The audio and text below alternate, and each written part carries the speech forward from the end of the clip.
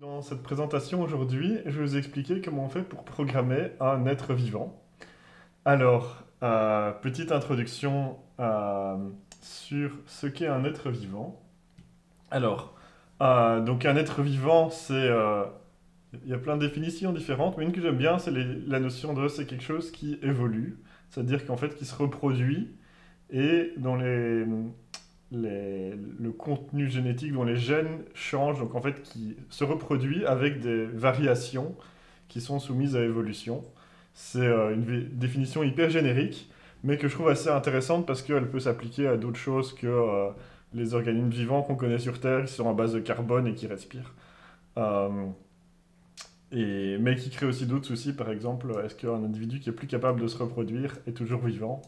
Des grands-parents, par exemple c'est aussi un peu mitigé. Mais euh, voilà. Donc, euh, les êtres vivants.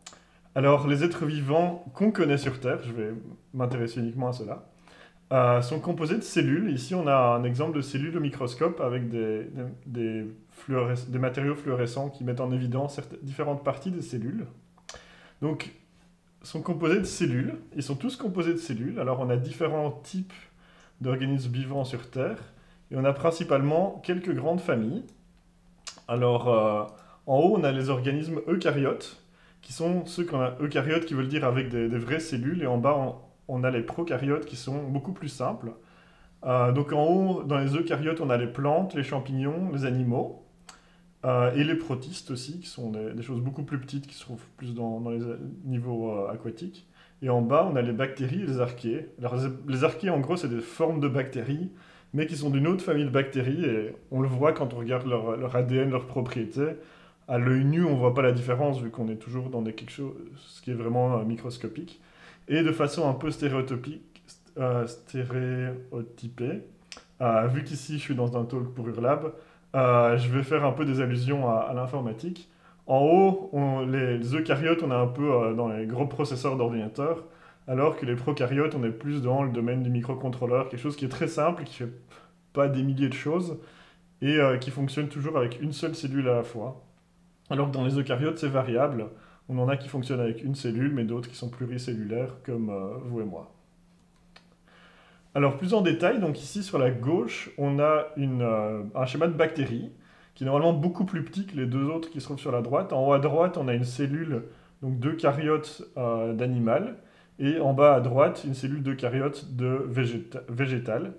Et on voit que dans les cellules d'eucaryotes, donc celles qui sont sur la droite, on a un noyau et on a toute une série de différents euh, organelles, donc des sortes de petits organes de la cellule qui se trouvent à l'intérieur.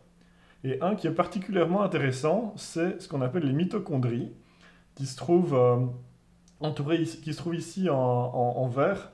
Et en fait, c'est originellement, donc les mitochondries ont leur propre ADN, indépendant de celui de la cellule du noyau. Et originellement, c'est des bactéries qui sont rentrées dans une cellule eucaryote et puis qui, euh, ben, en fait, une relation de symbiose puisqu'elles servent un peu de, de, de, zone de transformation de l'énergie dans la cellule. Donc c'est une sorte de, symbiose entre une bactérie qui a évolué pour ne pouvoir plus que vivre dans une cellule eucaryote et la cellule eucaryote ne peut pas vivre sans, euh, sans elle. Euh, alors aujourd'hui, on va, on va s'intéresser un peu à la, programmation des êtres vivants en restant dans quelque chose de le plus simple possible. Donc on va, on va rester sur les bactéries, mais euh, les systèmes sont assez, assez similaires sur les eucaryotes. C'est juste qu'il y a beaucoup plus de systèmes de, de pré-traitement de données, de, plus de complexité qui, qui entourent tous les processus cellulaires. Alors, il y a toute une série d'organismes modèles qu'on utilise en biologie. Donc, en haut à gauche, on a Escherichia coli, qui est une bactérie qu'on entend parfois parler euh, pour des intoxications, mais c'est aussi celle qui représente la majorité du poids de vos selles quand vous allez aux toilettes. Majoritairement des Escherichia coli mortes qui sont divisées dans votre estomac et qui participent à la digestion et à aider euh, votre corps à, digérer euh, ce que vous avez mangé. Au milieu, on a des levures ici, c'est Saccharomyces cerevisiae, donc c'est la levure de boulanger, la levure de bière, euh, un des organismes euh, préférés, qui est un eucaryote. Donc ici, en haut à gauche, on a une bactérie. Par contre, en haut au centre, on est déjà sur des eucaryotes dans le domaine des champignons. Alors, on a aussi une plante modèle ici. On a un ver dans les animaux, on a la drosophile. Alors, il y a aussi quelques autres animaux modèles. Par exemple, il y a le xénope, qui est une sorte de crapaud. La souris, qui sont aussi des organismes modèles, qui sont très étudiés en biologie. On s'intéresse à ceux-là parce qu'ils sont très populaires et très faciles à élever et aussi ont certaines propriétés qui, rendent leur, leur, étude plus facile. La drosophile, par exemple, et euh, coli se reproduisent très rapidement. Euh, le ver qui se trouve ici, euh, sa propriété intéressante, c'est qu'il a toujours normalement le même nombre de cellules. Donc c'est vachement intéressant parce qu'on peut voir directement l'effet d'une mutation sur, euh, sur les cellules du, du ver. Et alors, une cellule, c'est pas constitué que d'eau, c'est pas juste une grosse boule de, graisse avec de l'eau dedans et, et puis un noyau quelque part. non, c'est quelque chose qui est très très rempli. Alors ici, c'est un exemple de, de bactérie Escherichia coli. Et on voit qu'en fait, euh, bah, à l'intérieur, c'est vraiment très dense, c'est rempli de plein de molécules. Et une bonne partie de ces molécules sont des protéines. Et c'est la plupart des molécules qu'on voit qui créent une structure, donc euh, qui créent ce, cet, appendice ici. Tout ce qui traverse ici, c'est des protéines. Euh, en jaune, ici, on a, on a une représentation de l'ADN. Et par contre, ici, sur la, ce qu'on voit ici, qui fait la, la, la paroi. Donc parfois, dans la, je pense dans la paroi intérieure, on a en fait une des lipides. En fait. Donc là, là c'est des graisses. En fait, toutes les cellules, les cellules animales, végétales et les protéines sont en fait schématiquement de l'eau entourée d'une couche de graisse, comme une sorte de bulle, euh, qui peut avoir en plus une paroi, en plus d'autres protections. Et cette graisse, cette couche de lipides, est remplie de protéines qui euh, permettent de faire rentrer et sortir des choses de la cellule. Alors, il y a euh, ce, site-ci qui donne de superbes illustrations sur, sur les détails de cellules. Donc, c'est une reproduction à partir de, différents, de plein d'analyses euh, cristographiques, etc., du, de l'intérieur de cellules. Je vais laisser ça charger. J'espère que c'est... Ouais. Et donc, euh, on peut voir, et ça met en évidence en plus différentes parties, du, différents comportements d'une cellule. Alors là, par exemple, je vais cliquer sur le, la partie euh, paysage cellulaire ici, et on peut voir un chemin, par exemple, on peut prendre le, cycle, de Krebs, qui est utilisé pour la synthèse d'énergie dans une cellule. Donc ici à gauche, ce qui ressemble un peu à une bactérie qui est en mise en évidence pour l'instant, ça c'est une mitochondrie. Et donc euh, qui sert, qui un peu le, qui fait les opérations de transformation d'énergie dans une cellule. Et là, on peut voir tout ce qui se trouve à l'intérieur de cette mitochondrie qui a été analysée. On peut voir aussi les autres éléments qui se trouvent dans la cellule, par exemple de l'actine qui permet de donner une certaine forme à la cellule. On a ici de la tubuline aussi. Euh, on a des vésicules. Donc des vésicules, ce sont des, petites, de petites sphères qui peuvent contenir, des, liquides et qui se trouvent à l'intérieur de la cellule. Euh, donc on voit que c'est quelque chose de très très dense et euh, n'hésitez pas à aller voir vous-même ce site-ci pour voir les différents éléments. Là, on voit par exemple, on a un système de pores du noyau. Donc là, on a la membrane du noyau de la cellule avec en bas de l'ADN. Euh, qui contient le code génétique de la cellule. On voit qu'on a plein d'autres protéines qui se baladent partout, de différents types. Et ben, donc là, on a la, membrane du noyau, mais on voit qu'en fait, ben, l'objectif, c'est qu'il y a des choses qui rentrent et qui sortent. Euh, et, on a des gros pores comme ça qui euh, régulent ce qui peut rentrer et sortir. Et ce qu'on voit ici, euh, en bleu maintenant, c'est ce qu'on appelle de l'ARN messager. Et c'est une copie du message génétique qui se trouve dans l'ADN, qui sort du noyau et qui va être utilisé plus loin pour synthétiser des protéines à l'aide de ribosomes, qu'on voit ici en bleu clair en ce moment. On va rentrer dans les détails de tout ça, mais comme ça, vous avez déjà un peu une vue de, de, la complexité qu'il y a dans une cellule. Et il faut se dire que du coup, c'est toutes des choses qui se passent en parallèle en même temps. Donc, on n'est pas dans un système où euh, on a un processeur qui exécute une instruction à la fois. Non, on est dans un système où on a plein de molécules qui bougent dans tous les sens, qui sont dirigées par des champs électriques, juste par le, mouvement euh, des liquides par l'entropie et, euh, et, qui font tout plein de choses en même temps. Donc on n'est pas euh, sur quelque chose qui fait une chose en même temps, tout se passe en parallèle. Alors, en termes de programmation, un être vivant. Donc, euh, l'ADN est un peu ce qu'on appelle le, code source d'un être vivant et c'est ce qui détermine la majorité de ce qui est hérité par un être vivant. Et donc, quand on parle de programmation, on parle de code qui génère des actions. Et du coup, ici, euh, dans les êtres vivants, bah, c'est le, code génétique qui est un code qui génère des actions. Il y a d'autres systèmes qui, font des choses. Euh, il y a les membranes lipidiques, il y a ce qu'on appelle l'épigénétique, qui est d'autres molécules qui peuvent se trouver dans les cellules et avoir des actions qui ne sont pas directement déterminées par le code génétique, mais c'est principalement le code génétique qui, euh, détermine le comportement, la structure euh, d'une cellule et qui, lui, est, est, copié et contient une sorte de jeu d'instructions. Euh, et donc ici, l'idée, c'est de programmer un être vivant. Ben, voyons voir comment on peut faire ça. Alors, vous voyez ici que l'ADN, c'est composé d'une sorte d'une double hélice, en fait. Donc c'est de, euh, c'est une molécule qui est de l'acide désoxyribonucléique, qui est composée d'une série de sous-molécules qu'on appelle des acides aminés. Et on en a quatre types différents qu'on voit ici à droite. On a l'adénine, la guanine, euh, la cytosine et la euh, thymine, je ne sais plus exactement. Et elles vont toujours par paire. Et vous voyez que le A a deux liens avec le T, le C a trois liens avec le G. Et donc, c'est toujours le C se met toujours par paire avec du G et le A toujours par paire avec du T. Euh, ce qui fait que si on lit un brin de l'ADN, ben on, sait toujours de façon déterminante ce qu'il y aura sur l'autre.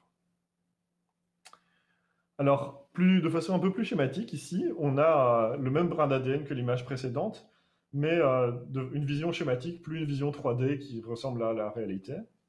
Et on voit donc nos trois bases.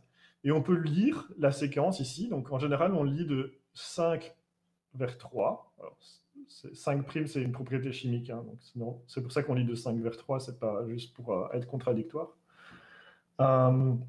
Et donc on voit ici, ben, si on veut lire cette séquence, on a A, et puis on a le rouge, c'est du C, puis du T, puis du G. Donc A, C, T, G. Et dans l'autre sens, C, A, G, T.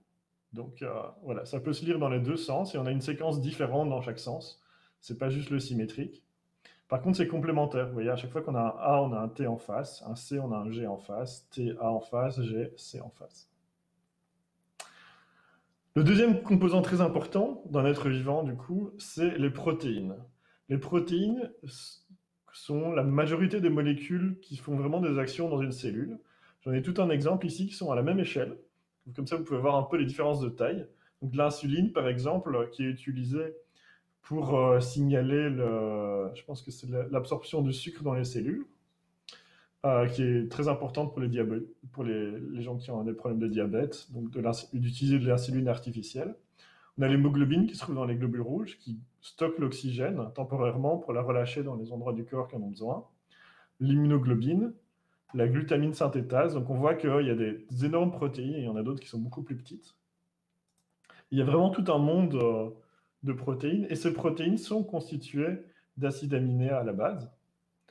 Les acides, donc ici, on a une protéine à droite en vision 3D avec des propriétés, je pense, euh, électriques peut-être, mises en évidence, ou alors c'est juste des segments qui sont mis en évidence.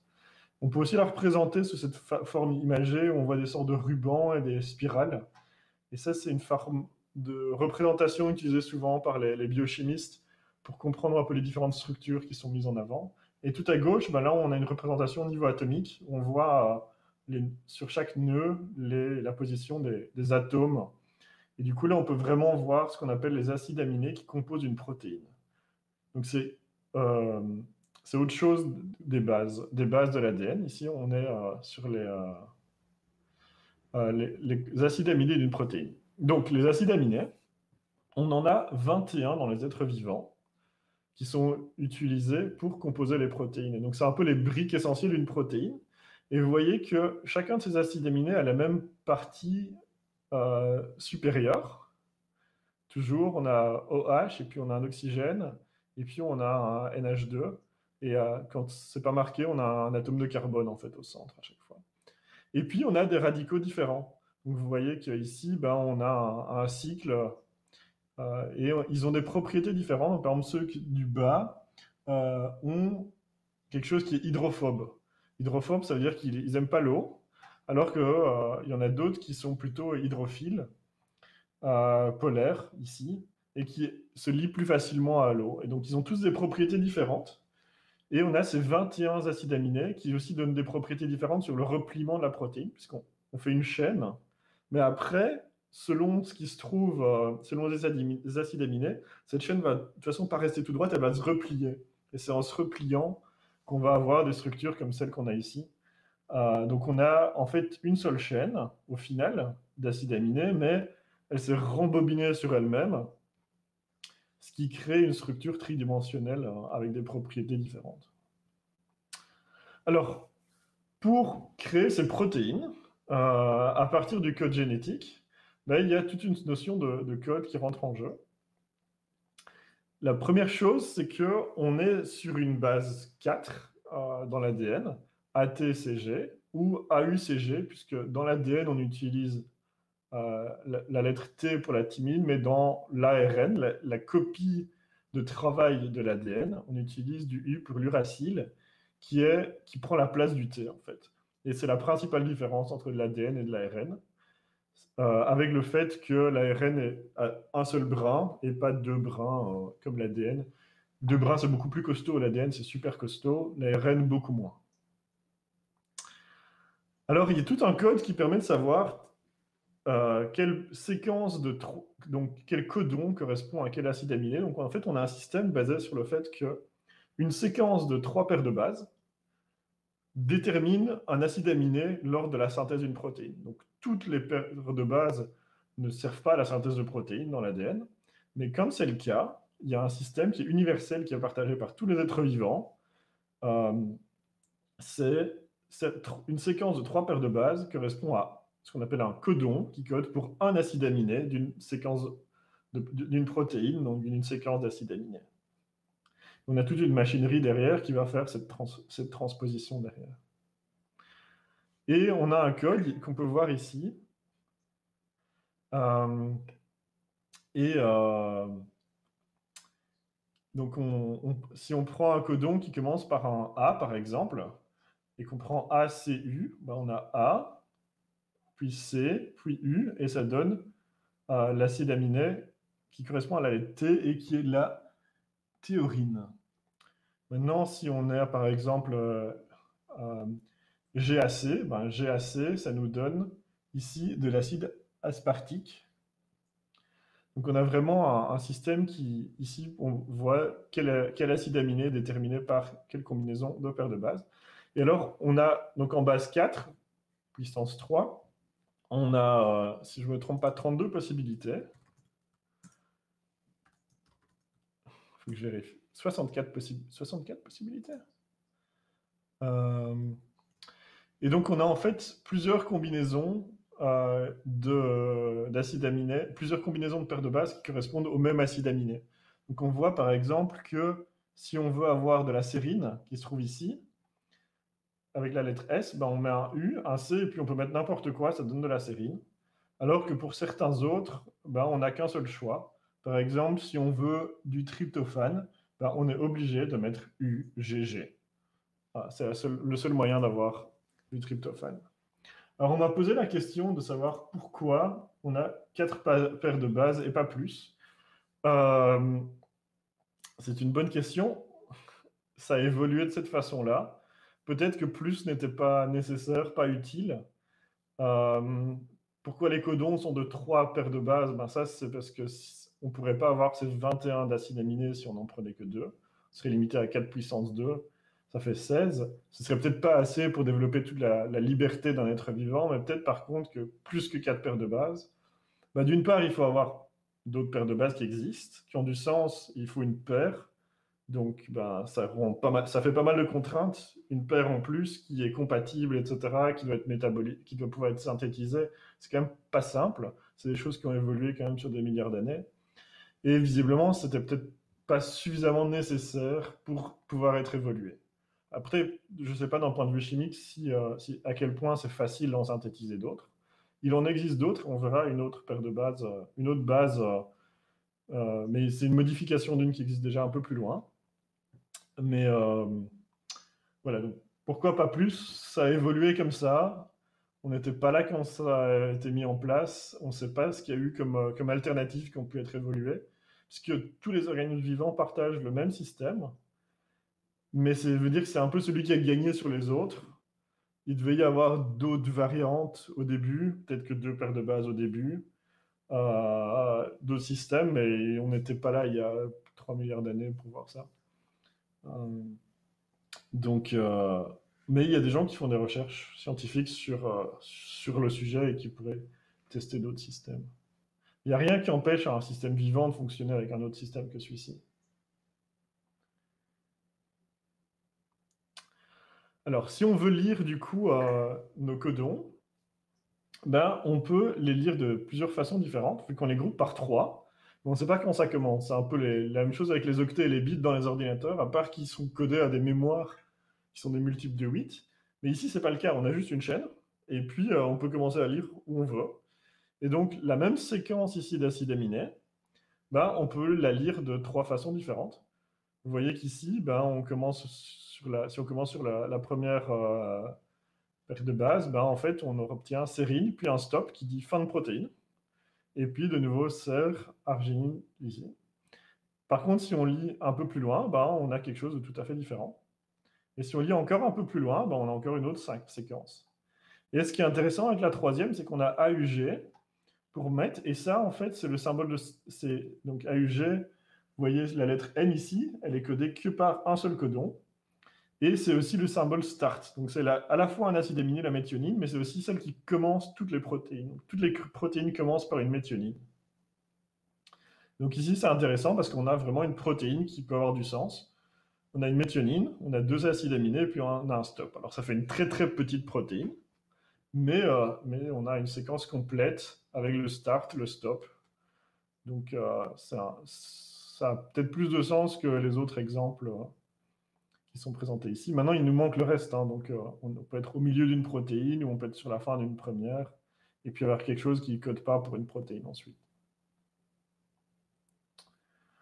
Alors, pour les geeks, bah, si vous voulez trouver une séquence codante pour une protéine, hors exception, vous pouvez utiliser une expression régulière du même, comme celle-ci. Donc, j'ai utilisé T et U pour dire si c'est de l'ADN ou de l'ARN. Donc, on a A, et puis soit un T, soit un U, et puis un G. Et puis, on a des codons, donc un multiple de trois fois euh, n'importe quelle paire de bases.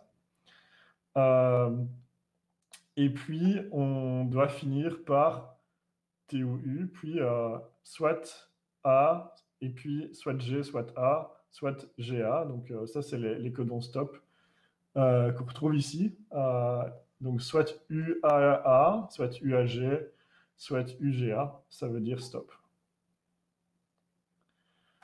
Euh, alors, on peut, du coup, euh, on a des outils pour analyser l'ADN, parce qu'à la main, et avec des expressions régulières, ben, on faisait ça au début, mais c'est un, peu pénible. Donc ici, on a un, exemple sur un outil en ligne qui nous montre comment analyser de l'ADN. Et donc là, on a de façon annoter toutes les séquences qui peuvent coder potentiellement pour une protéine. Et on voit qu'elles peuvent se superposer. Donc ici, ben, on a une méthionine qui ça se, trouve, se trouve dans l'autre séquence qui se trouve juste au-dessus. Et à chaque fois, on a la séquence qui est mise en évidence. Donc on voit ici, ça commence par ATG. Euh, ça finit et, euh, et celle-ci, euh, ça c'est la séquence ADN. Et au-dessus, on a la séquence de protéines qui, correspond ici. Et donc, ben, on a ces outils qui permettent de voir quelles sont toutes les potentielles protéines qui seraient codées par cette séquence d'ADN, et dans les deux sens. Donc, on a trois, positions de lecture multiplié par deux sens, donc ça peut faire pas, mal. Et il n'est pas impossible, il y a des organismes vivants qui en fait euh, ben, font de la superposition. Donc, c'est pas faire de la compression en mode euh, zip, tar, gz, etc. Par contre, on peut avoir un gène, et puis sur même endroit, on peut, on peut avoir un autre gène qui est légèrement décalé, ou un qui se trouve sur la séquence opposée. Avec évidemment des contraintes, vu que du coup ils doivent partager les paires de bases, il faut que ce soit compatible. Donc c'est pas facile, mais euh, c'est quelque chose qui, arrive assez fréquemment, surtout quand la, place est limitée. Euh, si on pense à des bactéries qui se reproduisent rapidement, surtout des virus qui, essaient d'avoir un très très petit ADN ou ARN, un code génétique le plus petit possible, ben, eux ils font énormément de euh, réutilisation et donc de superposition de différentes séquences qui servent à plusieurs choses. Et du coup, ça leur permet d'être plus légers, de se reproduire plus et euh, de contaminer plus de cibles. Alors, en pratique, programmer une bactérie. Euh, l'idée de base, c'est la suivante. Donc, d'abord, on définit l'objectif de notre programme. Ensuite, on va chercher les packages qui nous intéressent et les bouts de code et, de l'inspiration sur Stack Overflow.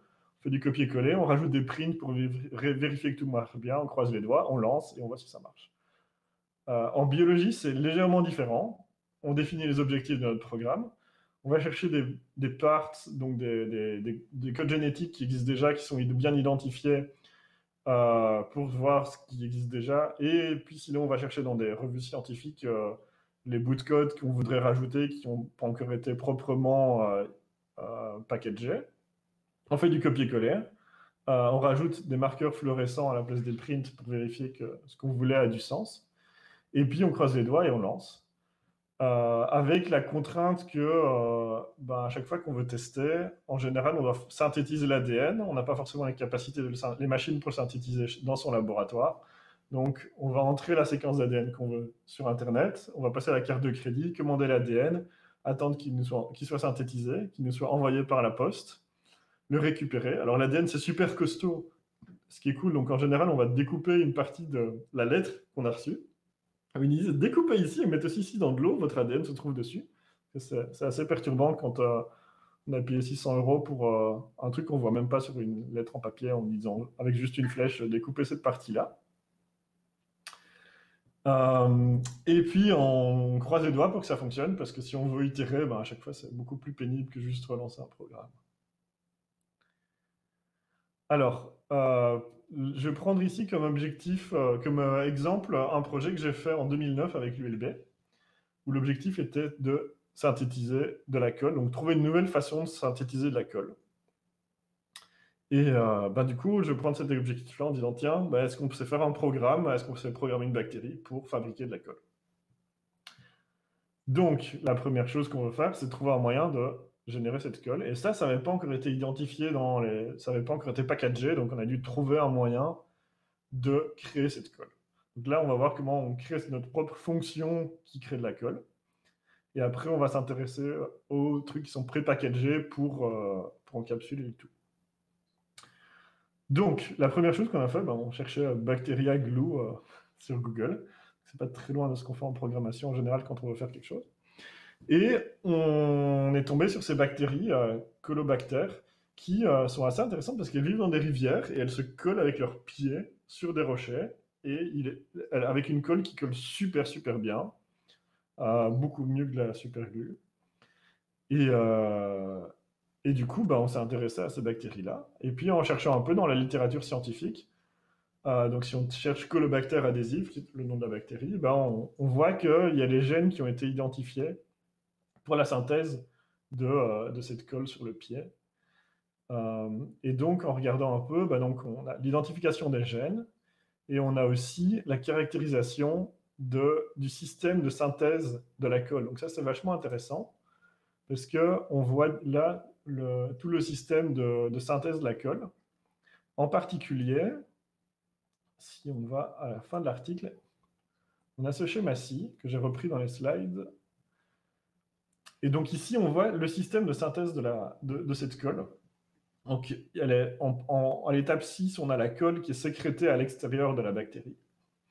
Et on voit tout le système de métabolisme de cette colle, qui est une sorte de polysaccharide, donc une sorte de une forme de sucre, comme la majorité des colles en fait, euh, d'un point de vue moléculaire chimique. ça ne veut pas dire que c'est sucré.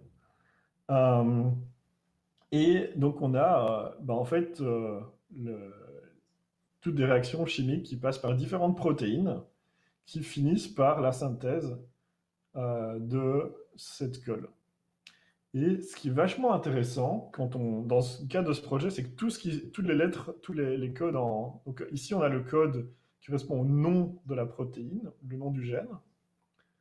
Euh, mais en dessous, entre parenthèses, c'est le nom d'une protéine, euh, d'une séquence similaire qui a été trouvée chez d'autres bactéries. Donc, dans le cas de notre projet, on a fait un peu le pari en croisant les doigts en se disant que euh, dans les bactéries Escherichia coli, qui, euh, est la, bactérie standard dont j'ai parlé plus haut de laboratoire, qui se reproduit super vite, qui est vachement pratique. Qu'en fait, les, les, versions similaires à celles de Colobacter étaient suffisamment proches pour euh, fonctionner correctement. Alors, on a la partie ici qui fait que la colle va être mise au bout du pied. Et ça, à la limite, nous, on s'en fout un peu, on veut juste que ça colle partout. Et donc, quand on regarde, si on ignore ce qui se passe ici à droite, ben, on voit qu'on a des, homologues, des homologues, des homologues. Il y a juste ces deux protéines-ci qui font ces deux étapes-ci qui, elles, n'ont pas d'homologue euh, chez, chez Richia. Et donc, ben, on, va s'intéresser à ces deux séquences et aller les chercher. Donc, on va aller sur euh, une base de données de gènes.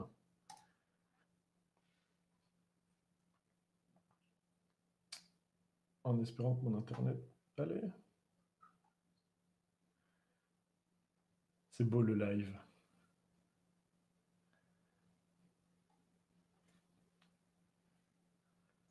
Je pense que j'ai un problème dans mes DNS. Euh...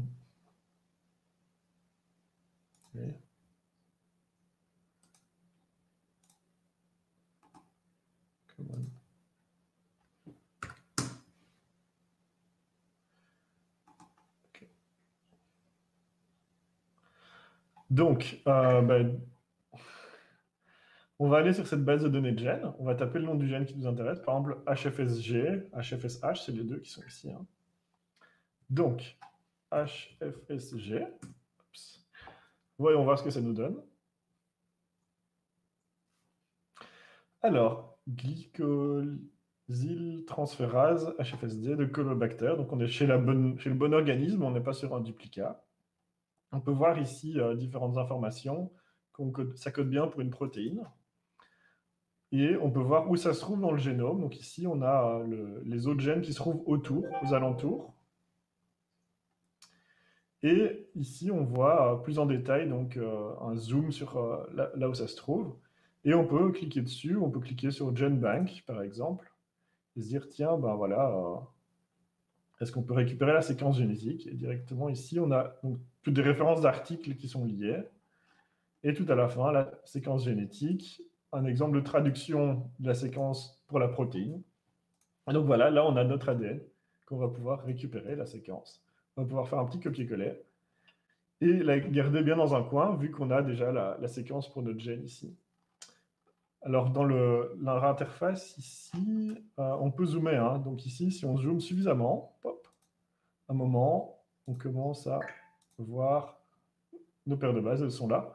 C'est juste que quand on est, quand on est loin, ben, en fait, euh, ils ne les affichent pas parce que ça n'a pas trop d'intérêt. Euh. On voit qu'ici, notre séquence, je ne sais plus combien elle faisait, la longueur, mais on a quand même une certaine longueur. Euh, on était à... Euh, je quelques centaines. Euh, je me rappelle plus, mais bon, euh, ça fait quand même, ah ben voilà, 900 à peu près, 900 paires de bases à utiliser. Et donc, on a ce gène-ci, on a HFSH, on peut faire la même chose. Vous, pouvez essayer de faire la même chose. Donc, c'est ncbi.com nlm.nih.gov gene euh, pour la, base de données. Et vous pouvez retrouver la séquence du, euh, deuxième gène. Et donc, la première étape, ben, c'est de récupérer les séquences qui correspondent au gène qui nous intéresse. Après, ce qu'on veut faire, c'est, euh, OK, c'est bien, on peut mettre ça dans une bactérie, mais il faut initier la synthèse du gène pour qu'il soit fabriqué par la bactérie. Parce que si on met juste le gène comme ça quelque part, il ne va rien se passer. Donc, il faut initier la synthèse. Euh, alors, il faut utiliser un autre système que celui-là, parce que d'une part, il a controverse et en plus, il n'est pas compatible avec les, bactéries. Euh, donc, il faut utiliser un promoteur euh, qui va promouvoir l'expression du gène. Donc, la première chose qu'il nous faut, c'est un promoteur. Ensuite, il nous faut une deuxième étape qui est le ribosome binding site, donc un site d'accroche du ribosome. Le ribosome qui est qui va nous permettre la, synthèse de la protéine. Et puis, à la fin du gène, il faut aussi qu'on dise, tiens, maintenant c'est terminé, la protéine, elle est finie. Et en plus du signal stop, il faut aussi que toute la machinerie se détache pour euh, vraiment dire, OK, on libère les ressources, on termine le process. Et donc, il nous faut ce qu'on appelle un terminator à la fin. Donc, voilà, c'est un promoteur, un système d'attache, un terminator à la fin, et on, rajoute ça autour de notre gène, et normalement, on est bon. on a un système qui permet de, le mettre en place. Alors, choisir un promoteur, ben, on peut aller euh, sur ce site qui est euh, de la compétition de, biologie synthétique. Donc, on peut aller choisir un promoteur dessus, on peut aller voir directement ceux qui sont fréquemment utilisés. Si je vais sur les promoteurs, ici, ben, on a un catalogue de promoteurs, et on peut aller voir un peu ce qui existe comme promoteur. Alors, on voit ici qu'on a des promoteurs constitutifs, donc qui euh, sont toujours toujours allumés, en fait, qui vont dire, tiens, on synthétise tout le temps le gène, qui a, la protéine qui se trouve après, mais avec des taux différents. C'est-à-dire qu'il euh, ben, y en a certains qui vont être faibles, qui vont dire, on la, on la synthétise un petit peu, mais pas trop. Il y en a qui vont être plus forts. On a les promoteurs de phages. Donc les phages, c'est des, des, virus qui s'attaquent aux bactéries et qui sont en général des promoteurs très très forts, puisque tout ce qu'ils veulent, c'est parasiter toute la cellule et euh, juste qu'elle fasse plus rien d'autre que synthétiser des phages, histoire d'aller contaminer le reste du milieu. Et donc là, on a des, promoteurs qui sont extrêmement forts si on va dans la partie des, phages, mais du coup qui risquent de paralyser le reste de la cellule. Ça prend 300%, euh, ça prend tout le CPU, on a un load max et il n'y a plus aucun autre processus qui arrive, à fonctionner. La cellule sait plus se reproduire, elle fait que synthétiser la protéine un maximum euh, et c'est à peu près tout on a tout ce qui est basé sur la signalisation cellulaire. Donc, on peut avoir des signaux entre cellules. Euh, une cellule qui détecte quelque chose, qui émet un signal qui est capté par une autre, par exemple, ou euh, des cellules qui détectent différents composés chimiques dans l'environnement. On a qui sont sensibles, par exemple, à des métaux. Euh, et on a encore toute une, diversité dans, ces promoteurs. Donc ça, c'est un peu le, c'est un peu le if quand on est en programmation bactérienne, c'est bah, le promoteur détermine quand une protéine sera exprimée. Et donc, on a une sorte de if. If cette condition est remplie, alors synthétise la protéine qui se trouve après. Après le, alors, après le promoteur, on a ce qu'on appelle le ribosome binding site, qui est un peu l'équivalent de euh, définir une fonction du début de la fonction.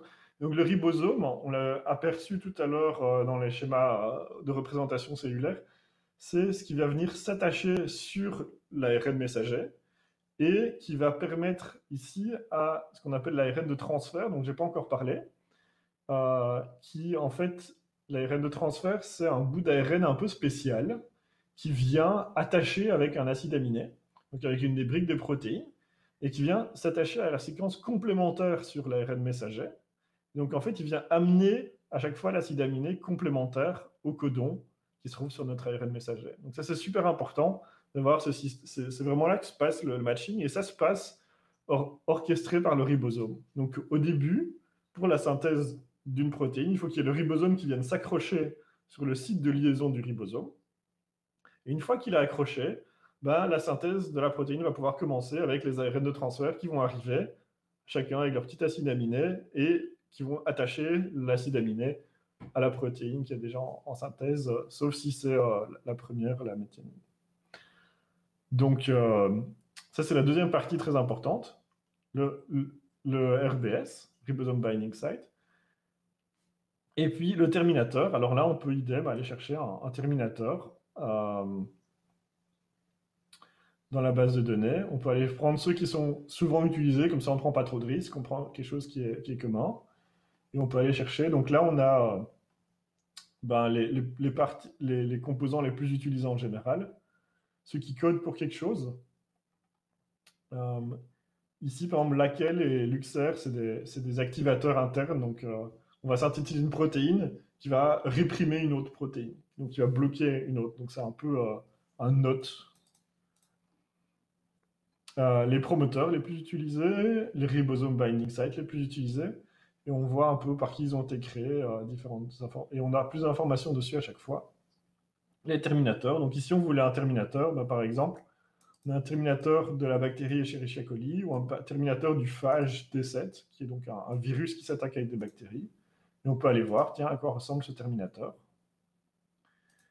donc pour chaque partie qui se trouve dans cette base de données, ben, on a euh, des informations, on a une description, on peut avoir un schéma. Vous voyez qu'ici, en fait, ce terminateur fait que l'ARN va se replier et prendre une structure tridimensionnelle un peu particulière qui va euh, faire que ça se détache euh, du, ribosome. Et on peut aller chercher aussi la, séquence. Donc on a plus d'informations sur le terminateur, comment il fonctionne, avec des schémas. Et la séquence se trouve, je ne sais plus si c'est ici. Euh, ah non, c'est ici, Get Part Sequence, c'était un peu croppé. Et là, ça m'a ouvert un nouvel onglet que je vais essayer d'ouvrir dans ce navigateur-ci. Et là, voilà, on a la séquence de ce Terminator. Ici, hop. Donc voilà, on a trois parts. Euh, on peut accéder aux séquences et on n'a plus qu'à les concaténer et les mettre une après l'autre en fait. Donc euh, un bon copier-coller. On met notre promoteur, on met notre RBS, on met notre gène. Alors on peut enchaîner plusieurs gènes, mais à ce moment-là, il faut peut-être remettre un RBS ou pas. Il faut, qu'il y ait un signal clair qui dise tiens, bah voilà, ça c'est la première protéine est finie, mais on veut enchaîner directement sur la deuxième pour la faire dans la même quantité que la première, un peu comme un passage à la ligne dans une fonction. Dernière partie qui nous manque, bah, il faut qu'on déploie ce code, qu'on le mette en, production. Et pour ça, bah, on va utiliser l'équivalent d'une clé USB avec un autorun. Ce qui est cool, c'est que dans les organismes vivants, il y a un autorun sur tous les ADN. Donc, euh, dans les bactéries, en tout cas, on a un truc qui s'appelle les plasmides. Et ça, c'est vraiment cool parce qu'on a notre ADN de la bactérie qui est un chromosome. Alors, nous, on en a plein. Euh, mais les bactéries en ont un qui a là en plus la tendance, qui a la particularité d'être circulaire. Donc il, est, il se referme sur lui-même, ce qui n'est pas le cas chez nous. On a des, chromosomes qui ne sont pas circulaires et qui se terminent par des télomères, euh, et dont on, en fait, à chaque, à chaque duplication, on perd une petite partie, euh, parce que euh, ça s'attache pas, les protéines s'attachent un peu plus loin à chaque fois. Mais du coup, pour en revenir aux bactéries, ben, on a notre plasmide, qui sont d'autres morceaux d'ADN qu'on peut injecter dans une bactérie, et qui vont être dupliqués quand la bactérie se duplique. Alors, pas toujours. Il se peut qu'elle se duplique et qu'elle ne récupère pas une copie du plasmide. Mais euh, ça, arrive et il faut, parfois éviter ça. Mais, euh, mais normalement, ils sont dupliqués aussi. Donc, c'est vachement pratique parce que si on met notre ADN dans un plasmide, ben, euh, on a une sorte de clé USB avec l'autorun, avec notre code qui tourne dessus. Et c'est ça qu'on va utiliser pour programmer des bactéries de la façon la plus simple. On pourrait avoir des systèmes qui vont aller modifier l'ADN de la bactérie ou d'autres systèmes, mais ça, devient assez compliqué à faire. Il faut d'autres outils, d'autres protéines qui vont aller injecter, modifier l'ADN. On va peut-être casser un truc important. Alors que le plasmide, bah, c'est assez facile parce que c'est vraiment un système de stockage externe qu'on peut juste aller connecter à la bactérie. Alors ça, c'est l'exemple du plasmide qu'on a utilisé pour ce projet. Donc vous pouvez reconnaître ici en haut, on a utilisé un promoteur, donc on a utilisé celui qui s'appelle R0011, si vous voulez récupérer la séquence exacte, puis le ribosome binding site 0034, et puis on a ici RFP1, et ça, je pense que c'est euh, MRFP1, on va aller voir. Qu'est-ce que c'est que... Euh, E1010.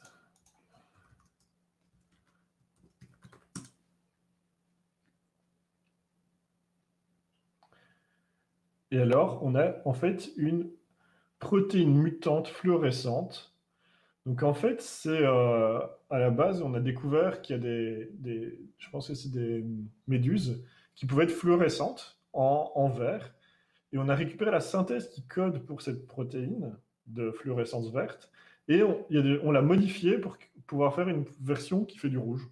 Euh, et on a d'autres versions euh, qui, font de la, fluorescence dans différentes couleurs. Et donc, c'est vachement pratique parce que c'est ça qu'on utilise un peu comme print.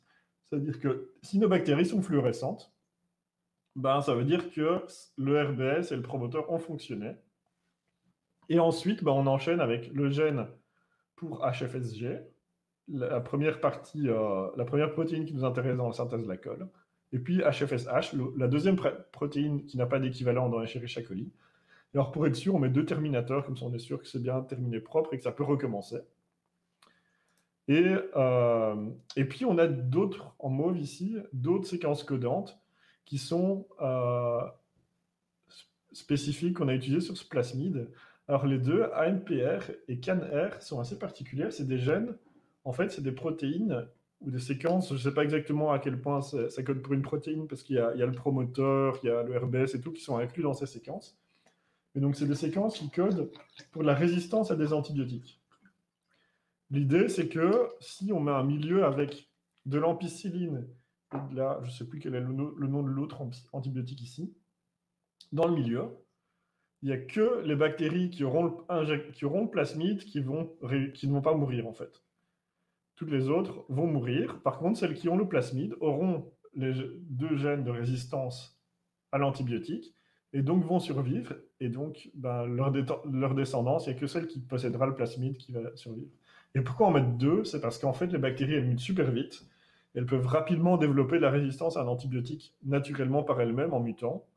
Et du coup, en mettant deux antibiotiques différents, ben, on diminue cette probabilité d'avoir euh, une bactérie qui euh, développe euh, une résistance par hasard. Et puis, on a une séquence ici qui permet la réplication du plasmide. Donc, il ne se copie pas tout seul. Il faut lancer la, la réplication, lancer la copie du plasmide. Et c'est cette séquence-ci, ici, qui initie cette réplication qui fait que quand la bactérie se divise, ben, elle va aussi avoir euh, des, copies euh, du plasmide dans les nouvelles cellules. Alors, on, a fait en pratique euh, ce plasmide, mais on a aussi envisagé et conçu un système beaucoup plus compliqué. Et l'idée était la suivante. On a un objet qui a cassé et qui contenait dedans une certaine molécule, et puis du coup, on veut pouvoir le mettre dans un bain avec des bactéries, que les bactéries remontent jusqu'à la fissure, et quand elles sont dans la fissure, là, là où c'est cassé, elles, arrêtent de se multiplier, elles synthétisent de la colle, on ressort l'objet, il est réparé. L'idée, c'était vraiment, on a un truc cassé, on le met dans un bain de bactéries, on le ressort, il est réparé. Et pour faire ça, on s'est basé sur le circuit suivant. Alors c'est la même chose à gauche et à droite. Euh, derrière moi, je vais juste me, décaler un petit peu, comme ça vous pouvez voir. Donc, euh, c'est le même circuit, mais c'est un peu plus facile, un peu plus lisible euh, à gauche. Euh, droite Non, c'est gauche. C'est moi qui en miroir. Euh, donc c'est plus facile à lire ici. Donc ici, on a en fait, à chaque fois qu'on a une couleur rouge, on a un note, donc une inversion, un système de répression. Donc là, on est dans un système où, un peu, logiquement un peu plus compliqué, où dans la situation normale, ben, comme au début, on fait l'initialisation de notre cellule, si on veut, et il n'y a rien qui est réprimé, il n'y a ni flèche verte ni flèche rouge qui est active. Et du coup, ce qui se passe, c'est qu'on a C2 qui, lui, est actif. Et donc, C2 est actif et il va bloquer LuxL, LuxR, HFSG et HFSH, et par E, qui va bloquer tous ces gènes-là. Et comme c'est E qui lance celui-ci qui bloque le premier, ben en fait, on a celui-ci qui est actif. Maintenant, si on met de l'IPTG dans le milieu, donc c'est une molécule chimique qui, ressemble à un acide aminé et que les, bactéries aiment beaucoup, elles aiment bien se diriger vers l'endroit où se trouve de l'IPTG. Si on, en a par hasard dans le matériau qu'on veut réparer et qu'il y a une fuite qui se dilue dans le milieu, bah, toutes les bactéries vont aller à la source d'IPTG en fait. Et donc elles vont arriver là, et puis quand il y en a suffisamment, bah, en fait l'IPTG va induire la synthèse de ce, répresseur C1, qui lui va bloquer le deuxième. Comme C2 n'est plus, plus exprimé, il va arrêter de bloquer les suivants. Et du coup, les autres vont s'exprimer. On va avoir un système de feedback positif qui fait que si ceux-ci s'expriment, ben en fait, ils vont aller encourager le premier, qui fait que ça va encore plus bloquer le répresseur ici. Et en plus, ils vont induire euh, la, ils vont augmenter la, synthèse de colle et puis bloquer la division cellulaire. Donc ça, l'idée de la division cellulaire, c'est que ben, on synthétise la colle à fond et en plus on bloque tout ce qui est division cellulaire, comme ça toutes les ressources sont vraiment allouées à la synthèse de colle. On n'a pas de euh, ressources allouées à autre chose. On veut vraiment juste que les bactéries elles meurent là, dans leur colle, elles en synthétisent partout et elles meurent en faisant ça. Et sur la droite, donc là, vous avez le, circuit en plus compliqué. Donc à chaque fois, ben, on peut voir les différents promoteurs RBS qui sont utilisés. Alors on voit que c'est pas toujours les mêmes RBS. et on voit aussi que surtout pour les promoteurs, ben à chaque fois on a les promoteurs qui sont utilisés. Vous voyez qu'ici c'est le, même promoteur qui est utilisé pour les trois gènes ici en bas à droite, mais pas pour les autres. Et donc là il y a tout un équilibre puisque les promoteurs sont plus ou moins forts, mais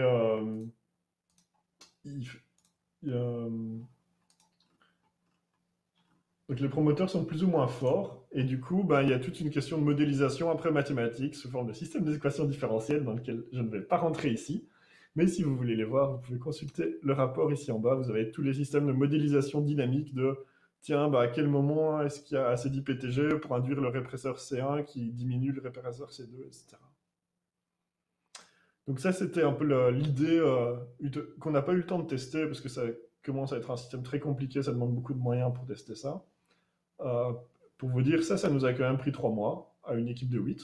Enfin, 6 à fond dessus, plus, euh, plus de LED. Euh, donc ici, on est dans un système déjà beaucoup plus compliqué, ça commence à demander beaucoup plus de temps. c'est un peu l'époque de l'assembleur des vieux ordinateurs avec des cartes perforées.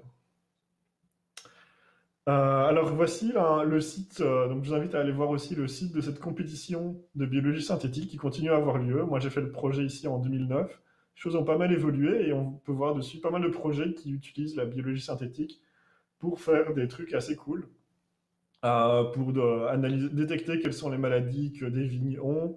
Il y en a qui ont fait des films photos, ça c'était à l'époque où quand j'ai participé, ils ont fait des bactéries qui sont sensibles à la lumière et quand elles reçoivent de la lumière, elles émettent un pigment et après elles meurent juste. Donc on a la boîte de pétri avec nos bactéries, on, les, on peut vraiment euh, les utiliser comme un film photo et après la, la photo reste imprégnée sur, euh, sur le film de bactéries. Ah, il y a plein d'autres idées qui partent vraiment dans tous les sens. J'invite vraiment à aller voir ce qu'il y a moyen de faire avec la biologie synthétique. C'est vraiment fou. On peut vraiment programmer les êtres vivants de plein de façons différentes. Et ça donne énormément d'idées, puisqu'on est capable du coup de synthétiser des produits chimiques, euh, de réagir à des produits chimiques. Euh, on peut vraiment transformer beaucoup de choses dans le monde euh, grâce à la biologie synthétique, qui est de la programmation d'êtres vivants. Alors, euh, pour terminer, je voulais regarder un petit peu avec vous cet article sur la synthèse donc sur cette analyse en fait, du vaccin contre le SARS-CoV-2 de Pfizer et BioNTech. Euh, et donc, je vous ai montré les plasmides tout à l'heure. Bah, ici, c'est un système assez similaire. Donc, euh, j'ai pas de, vidéo de la bactérie qui colle, mais il y a des photos dans, le PDF du projet, par contre. Donc, euh, ben, en fait, ici, les vaccins ARN messager, ce qu'ils font, c'est qu'ils prennent un ARN messager, ils le mettent dans une sorte de, bulle de lipides euh, qui va être capable de rentrer dans les cellules, d'injecter l'ARN dans les cellules. Mais il y a pas mal d'astuces en plus. Donc, c'est un peu le même principe que le plasmide, à part qu'on est déjà sur la partie ARN. Donc, on n'est pas. dans une cellule normale, on a l'ADN et de l'ADN synthétiser de l'ARN messager qui sort du noyau et puis qui va être transformé en protéines. Ici, on a directement l'ARN messager, donc il en faut déjà pas mal pour que ça ait un effet. Ça n'a pas d'effet d'amplification. Si on regarde euh, AstraZeneca, eux, ils envoient de l'ADN qui, lui, va être copié en plein d'ARN et donc normalement qui a un effet euh, d'amplification beaucoup plus grand. Et ce qui est assez intéressant dans, ce, dans cet article sur euh, le vaccin Pfizer, c'est qu'ils utilisent pas mal d'optimisation vraiment originale. Par exemple, euh, il y a le fait que la, séquence, en fait, elle ressemble à ceci. J'ai un, document en Word ici que je peux ouvrir. Je vais aller l'ouvrir à... Il où? Ici. Je vais vous le partager.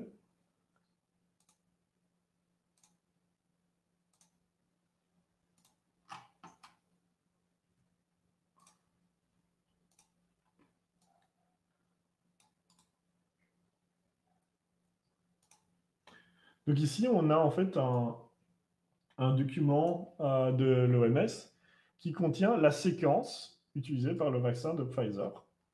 Et on la voit ici. Et je ne sais pas s'il y a quelque chose qui vous choque, mais euh, on n'a ni T ni U. Et donc ça, c'est une des grosses astuces qu'ils ont utilisées. C'est qu'en fait, un des problèmes de cette technologie d'ARN messager, c'est que plein de vaccins utilisent de l'ARN messager. Et du coup, notre corps et driller notre système immunitaire. Dès qu'ils voient un truc qui ressemble à l'ARN messager qui n'a pas l'air de venir du noyau, ils le destroy, ils le smash tout de suite. Et donc l'astuce ici, c'est d'utiliser en fait un autre acide aminé qui a la même fonction que le T et le U, mais qui n'est pas reconnu par le système immunitaire. C'est-à-dire que pour la synthèse des protéines, ça fonctionne de la même façon. Par contre, dans tous les, pour le système immunitaire, ben là, il, est, il passe à peu près ni vu ni connu parce qu'il ne ressemble pas à du T ou du U, surtout pas à du U. Donc, euh, tous les systèmes de destruction de l'ARN messager normal vont, euh, la plupart vont l'ignorer. Ce qui est vachement intéressant parce que sinon, quand ils ont testé au début, ben, ça ne marchait pas du tout. Parce que euh, trace d'ARN messager externe, ça veut dire virus, ça veut dire que ça se fait smasher. En plus, ça contient une séquence de virus. Le corps ne le sait pas, puisqu'on n'a que la protéine ici, on n'a pas les, systèmes de réplication du virus. Mais, euh, mais euh, du coup, ça, c'est une des grosses innovations du, système. Et après, ben, il y a l'analyse euh, qui se trouve ici. que j'ai plus sous la main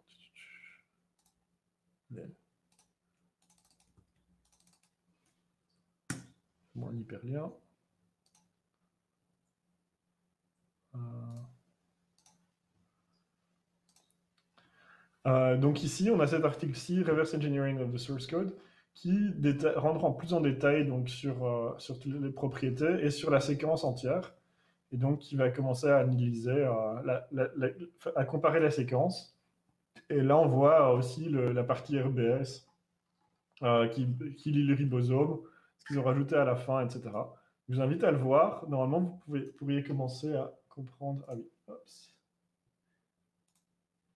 euh, à comprendre euh, cet article-ci avec les explications que je vous ai données. Et ça parle aussi du coup de les comparaisons entre la séquence qui a été récupérée dans le vaccin, euh, dans le virus, pardon, dans le virus et la séquence du vaccin, et quelles sont les modifications. Donc il y a des choses assez intéressantes. Par exemple, ici, vous pouvez voir là juste au-dessus de ma tête, on a euh, la même séquence sauf quelques modifications. Vous voyez, on a ici un U remplacé par un C, un U remplacé par un G. Donc on a quelques modifications à certains endroits. Parce qu'il y a certaines optimisations qui ont été faites où en fait ils ont vu que la protéine, à la place de faire la même protéine que dans le virus, s'il la faisait un peu différente, ça marchait mieux pour euh, le système immunitaire. Il y a aussi le fait que différents organismes, en fait, utilisent, on utilise le même codon pour tous les organismes, mais dans des proportions différentes.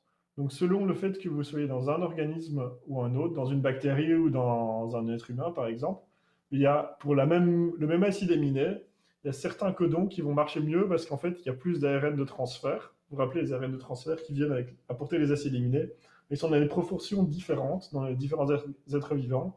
Et du coup, la synthèse de protéines va être plus rapide si l'ARN de transfert du codon que vous utilisez est beaucoup plus populaire euh, que dans un autre organisme. Et en plus, le, je pense que c'était le, G, il y a, aussi euh, certains acides aminés qui sont pas super bien supportés dans, qui ne sont pas super, euh, super soutenus dans, dans, dans l'ARN messager qui causaient souci. Donc, ils ont essayé de remplacer le plus possible des codons qui remplaçaient, contenaient du G par des codons qui euh, donnent le même acide aminé mais qui contient moins de C et de G pour faire des optimisations comme ça. Euh, ça, c'est la partie qu'ils qui, ont changé dans la, protéine ici. Donc, je vous encourage vraiment à regarder cet article.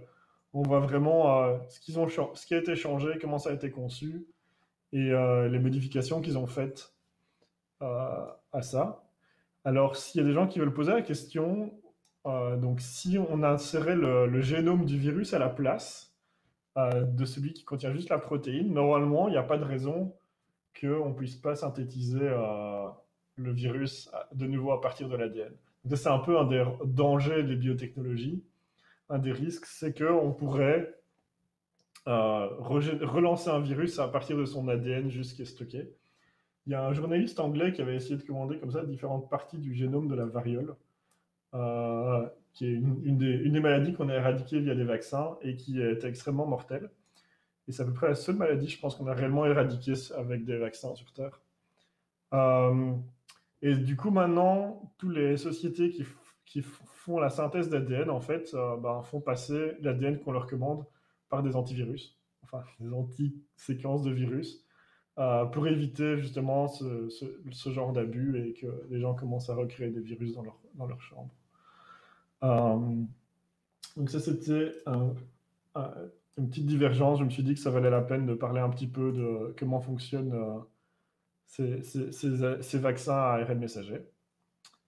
Euh, voilà, et après, pour terminer, euh, je termine sur ce, petit dessin d'XKCD euh, pour dire que ben, pour les biologistes, on pourrait juste remplacer ça par mon code est en train d'être envoyé par la poste et, d'être synthétisé. Et ça prend beaucoup plus de temps, donc ça permet de jouer beaucoup plus sur les chaises. J'espère que vous avez apprécié, et puis je suis là pour écouter toutes vos questions et y répondre.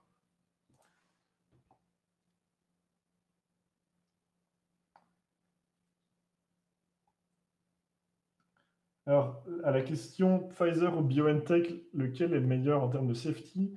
Vu que c'est BioNTech, qui est une société spécialisée dans les RNA messagers, qui est utilisée pour des cancers, etc., qui a fait un partenariat avec Pfizer pour permettre la, synthèse à grande échelle du vaccin, et donc Pfizer BioNTech c'est le même vaccin, je ne peux pas comparer lequel est meilleur en termes de safety. Ça a plus de sens de comparer avec Moderna. Donc Moderna, c'est une société américaine qui fait aussi des vaccins à ARN messager la, séquence de Moderna a été publiée récemment sur Internet, j'ai vu passer, donc vous pouvez la retrouver et faire une comparaison avec euh, ce reverse engineering de la, séquence euh, du BioNTech et voir ben, du coup euh, comment ça se compare. Alors AstraZeneca, c'est un autre système. Donc il y, a pas mal de systèmes différents de, vaccins qui ont été mis au point pour la pandémie. Il y a ce ARN messager, donc on a Pfizer BioNTech, on a Moderna, on en a un qui devrait arriver bientôt, je ne sais plus comment il s'appelle, euh, qui, est qui est en phase d'essai avec 30 000 personnes en phase 3. Il y a AstraZeneca, donc AstraZeneca, c'est un, c'est un vaccin à ADN, donc en fait, ils injectent de l'ADN qui, je pense, qui lui est utilisé pour synthétiser de l'ARN, qui lui va synthétiser la protéine. Et donc à chaque fois, chaque société, ben, elle a, adapter un peu la, séquence de la protéine euh, à sa façon. Donc là, ça crée des, différences de, résultats d'un vaccin à l'autre juste parce qu'ils ont fait du tuning un peu différent sur la protéine. Et ça, c'est par exemple les différences entre Moderna et Pfizer. Ben, ça vient en partie de ça, en partie d'autres astuces qu'ils ont dû utiliser dans le processus. Euh, quand on a un vaccin à ADN, ben, du coup, ce qui se passe, c'est que euh, si on fait rentrer un bout d'ADN dans la cellule, potentiellement, je n'ai pas les détails de comment ça fonctionne, mais il pourrait créer beaucoup d'ARN messagers. Euh, là, il faut voir le promoteur qui est utilisé, à quel point il est fort ou pas. S'il est trop fort, bah, ça affaiblit la cellule. Euh, s'il n'est pas assez fort, ça marche moins bien. Mais euh, du coup, il, peut avoir un peu un effet de, réplication où on fait rentrer un bout On a besoin de moins de, moins de vaccins en termes de quantité, puisqu'il pourrait se reproduire plus dans la cellule, produire plus de protéines par un effet de levier. puisque un ARN messager peut créer un certain nombre de protéines avant d'être détruit. Un ADN crée des ARN messagers qui créent des protéines. Et à chaque fois, on a un effet multiplicatif. Euh, oui, en ARN messager, il y a encore le CureVac qui doit arriver, c'est ça le nom. Et puis, je pense que je me demande si les Chinois ou les Russes ont pas aussi essayé un système comme ça. Alors, une autre question, une fois que tu as la séquence et que tu l'envoies, les labos te renvoient dans une enveloppe de bactéries qui contiennent la séquence. Alors non, c'est pas ça. Donc en fait, euh, quand on commande de l'ADN, en tout cas il y a 10 ans quand je l'ai fait, euh, on rentrait juste copier-coller la séquence ATCG dans un formulaire, on passait la carte de crédit, euh, on mettait notre adresse, il nous envoyait une lettre qui contient uniquement l'ADN des plasmides. Donc en fait, il génère déjà tout l'ADN du plasmide et je pense qu'il est le plasmide est déjà refermé sur lui-même, donc il, est complet, fonctionnel. Mais après, et donc c'est ça qui se trouve sur l'enveloppe. Donc du coup, ben, on découpe le papier, on met ça dans un petit tube à essai, euh, l'ADN qui était sur le papier ben, se dilue dans l'eau. Et après, l'étape suivante, c'est de le faire rentrer dans les bactéries. Alors ça, j'en ai pas parlé, mais c'est aussi une opération, on va dire, qui marche pas à tous les coups, mais comme on fait ça avec des millions de bactéries, il suffit que ça marche 1% du temps pour qu'on soit content, puisque les autres vont mourir à cause des antibiotiques.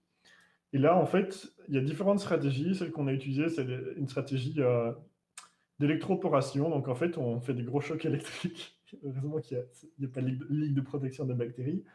on fait des gros chocs électriques aux bactéries qui va en fait créer peut-être des trous temporaires, je ne sais plus exactement le principe, mais qui va permettre à certains plasmides, aux plasmides de rentrer dans certaines des bactéries grâce à ces chocs électriques. Il y a d'autres systèmes qui, qui, utilisent en général aussi d'autres systèmes d'un peu de choc qui permettent de faire rentrer les plasmides dans les bactéries. Nous, c'était de l'électroporation. Donc, euh, c'est via, des, via, du, une décharge électrique, en fait, euh, qu'on a fait rentrer euh, l'ADN de nos plasmides dans les bactéries. Et ce qui fait que quand on chip juste de l'ADN comme ça, ben, ça ne va pas se multiplier. Il n'y a pas de risque sanitaire d'envoyer juste de l'ADN. Alors que si on envoyait des bactéries OGM par la poste et qu'il pleut sur l'enveloppe et que elle se perd ou quoi, ça pourrait potentiellement créer plus de soucis, donc ça, ce serait pas une super idée.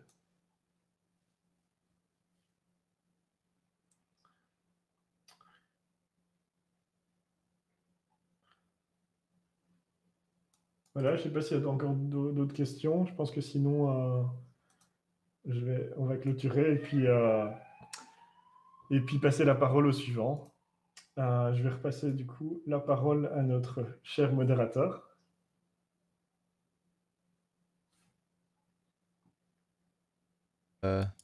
Un grand merci à, Hugo d'avoir présenté. Euh, je sais pas si on m'entend. Ouais, on m'entend. Du coup, euh, on va faire une 5 minutes pause en attendant que je set up le deuxième talker. Et un grand merci de nouveau à Hugo pour avoir présenté. Et le prochain talk, ça va être le talk de Tarirock avec 10 ans de Neutrinet.